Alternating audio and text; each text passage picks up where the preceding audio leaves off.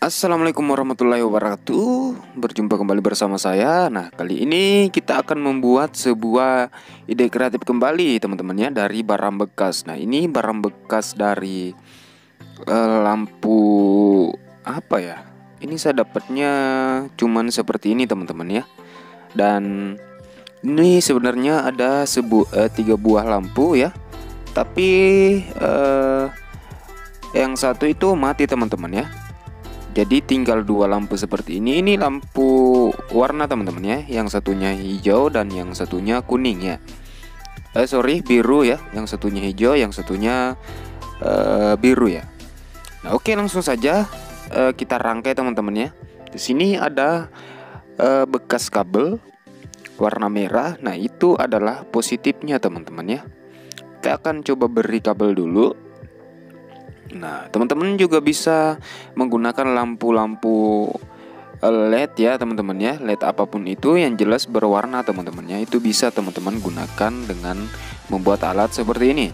Nah, ini lampu hiasnya unik sekali teman-teman karena dari barang bekas ya semuanya. Nah oke setelah kita beri timah untuk bagian kabelnya langsung saja kita solder untuk bagian kabelnya ke pin PCB dari lampu LED-nya. Nah seperti ini ini yang minnya ya. Yang positifnya yang tadi kita solder. Sekarang minnya kita satukan. Nah oke okay, sudah menyatu ya.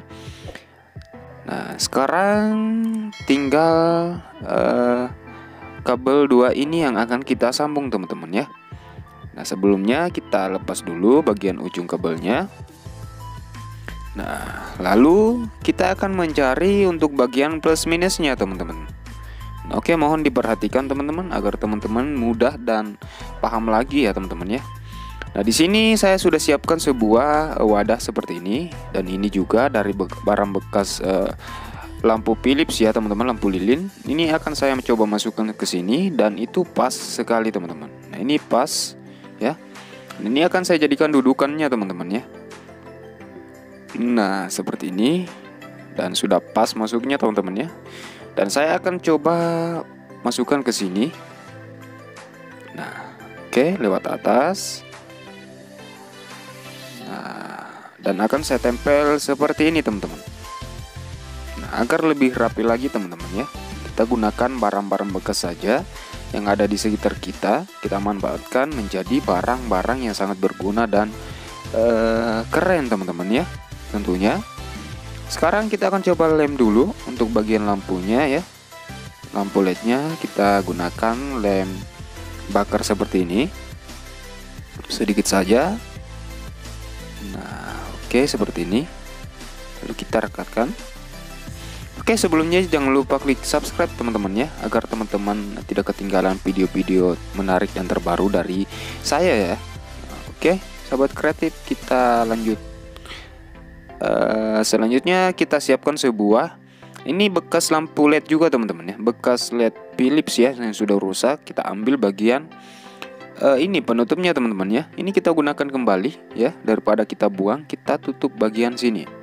Nah pas teman-teman ya pas masuk pas sekali dengan lampu LED-nya. Nah selanjutnya kita akan coba lem lagi teman-teman Nah, jadi barang-barang bekas di sekitar kita itu masih sangat berguna sekali. Ya, jika teman-teman butuh inspirasi, silahkan tonton video-video saya yang sebelumnya karena di sana banyak video-video yang sangat bermanfaat untuk teman-teman tiru teman-teman ya. Dan sangat uh, mudah juga teman-teman ya. Nah, seperti ini. Nah, ini sudah jadi teman-teman. Rangkaiannya sudah jadi.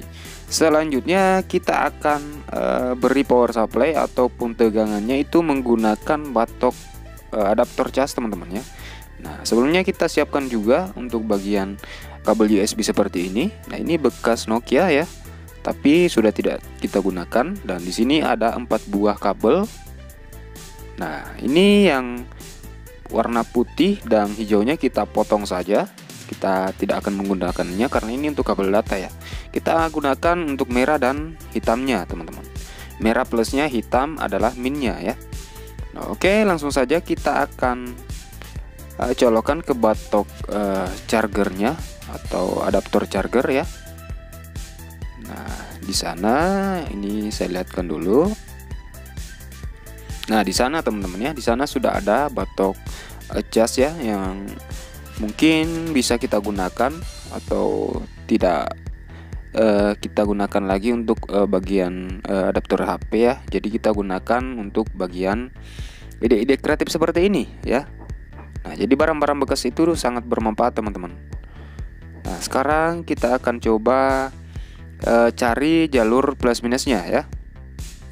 Nah, ini dari kabelnya ini itu uh, plusnya warna merah ya, dan minnya itu warna hitam. Kita cari dulu jika lampunya plus ke plusnya ketemu dan min min ke min itu ketemu maka lampu akan nyala. Nah, ini sudah nyala teman-teman.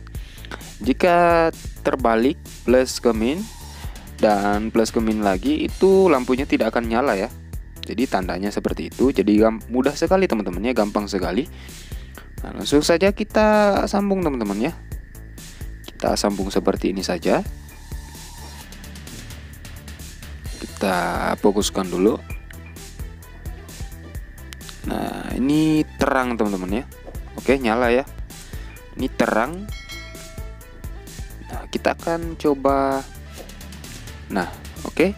Mantap sekali warnanya ya teman-teman ini terang sekali teman-teman mungkin di kamera agak redup ya nanti kita akan coba matikan untuk bagian lighting saya ya atau lampu saya nah sehingga tinggal lampu ini saja yang menyala ya nah ini terang sekali teman-teman nah jika kita fokuskan maka akan gelap juga ya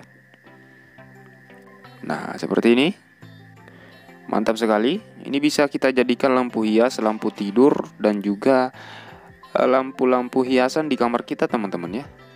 Nah, ini saat kita matikan lampunya, teman-teman. Untuk lampu uh, eh, HP saya ya. Nah, ini terang sekali. Ini jika kita membuat alat seperti ini atau lampu seperti ini mungkin uh, kurang lebih tiga itu akan lebih bagus lagi teman-teman ya. Nah ini terang teman-teman.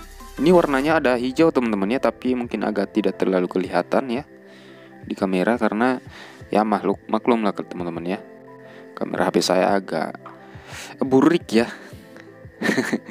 Nah oke okay, seperti ini Mantap sekali sudah jadi Dan uh, Gampang sekali teman-teman ya pembuatannya Kita tinggal nyambung plus ke plus dan min ke minnya teman-teman ya Nah, oke, okay, mungkin sampai di sini saja video saya. Jangan lupa klik subscribe teman-teman ya agar teman-teman tidak ketinggalan video-video terbaru dan menarik dari saya. Sampai jumpa di konten selanjutnya.